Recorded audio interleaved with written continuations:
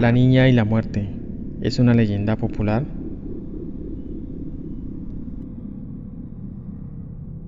Había una vez un bosque encantado, un lugar misterioso donde los rayos del sol apenas se atrevían a tocar el suelo. En ese bosque la muerte vestía de negro y montada en su majestuoso caballo.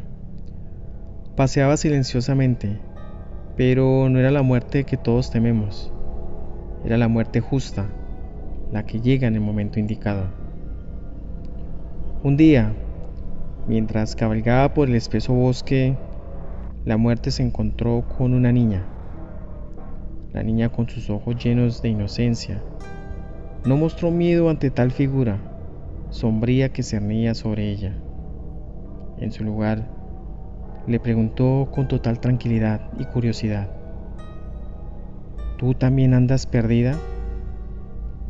La muerte, sorprendida por la calma de la niña, le respondió, Sí, ¿y tú conoces el camino de regreso a casa?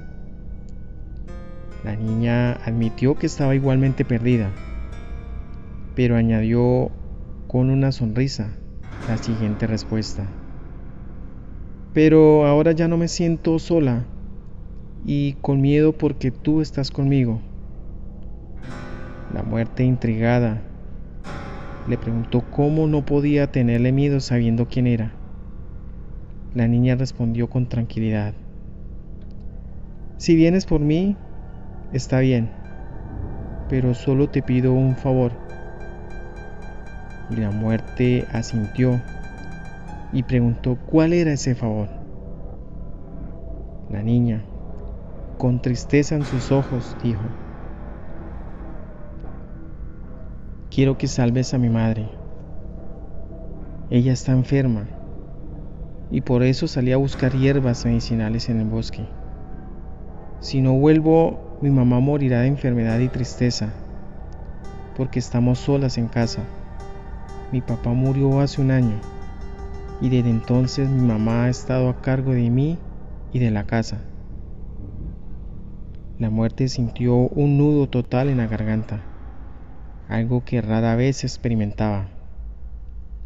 Borró su sonrisa y sus ojos se llenaron de compasión.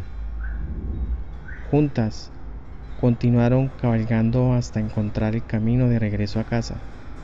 Sin embargo, antes de salir del bosque, la muerte se detuvo.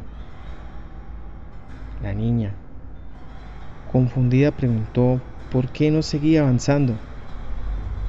La muerte con una voz suave le respondió, porque hasta aquí llego yo.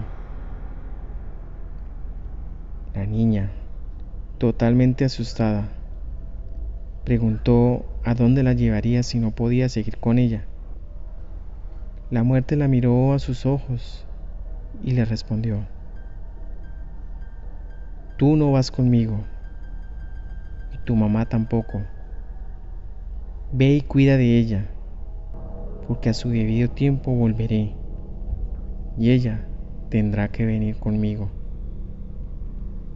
La niña tomó a la muerte de la pierna y mirándola mientras su hermoso corcel relinchaba le dijo, Gracias, estaré esperándote feliz porque sé que no eres mala. La muerte arreó bruscamente su caballo y desapareció en la oscuridad del bosque. La niña regresó a su casa y cuidó amorosamente de su mamá enferma. Sabía que la muerte vendría algún día, pero ya no le temía, porque la había conocido, había conocido a la muerte justa, la que llega en el momento indicado. Y así, en ese bosque encantado, la vida y la muerte coexistieron en armonía recordándonos que todo llega en el momento establecido por el destino. Psicoanálisis. En el análisis psicoanalítico de la historia de la niña y la muerte podemos identificar elementos relacionados con el psicoanálisis, mientras que desde una perspectiva existencial se destaca el enfrentamiento con la muerte y la búsqueda del significado en la vida.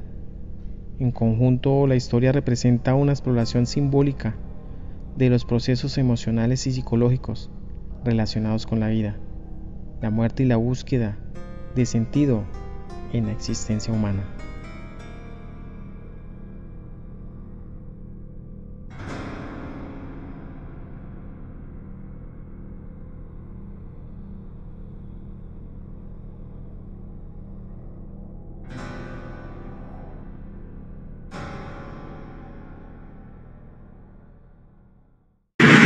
Esto es De Todito News.